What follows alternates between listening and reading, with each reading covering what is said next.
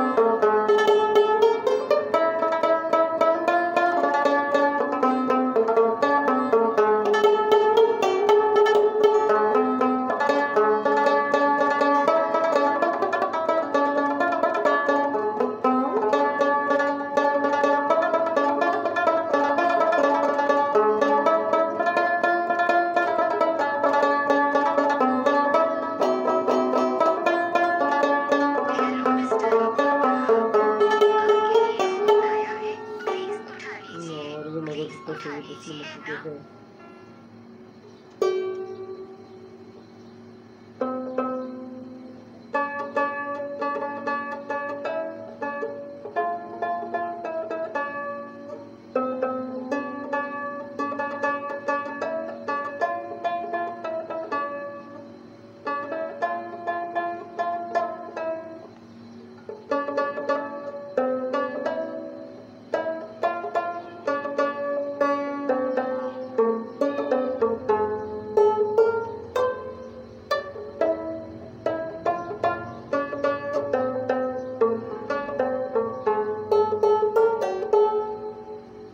दस उस पीस और है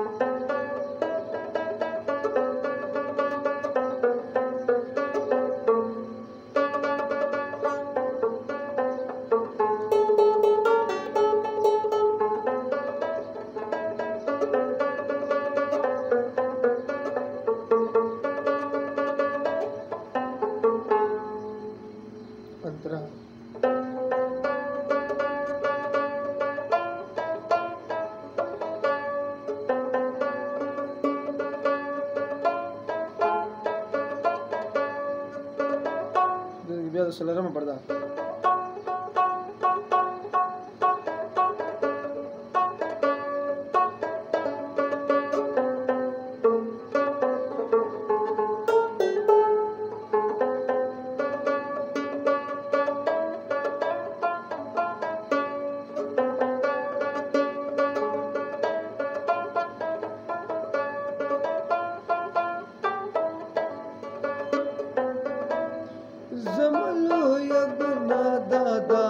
پښتونیاما زموږ لویه ګناه دا ده چې پښتونیاما ستاسو ډېره مننه د الله په امان ملګرو چې هر ځای علم خوشحاله لاره ویډیو تر سره ضرور لایک کړئ شیر کړئ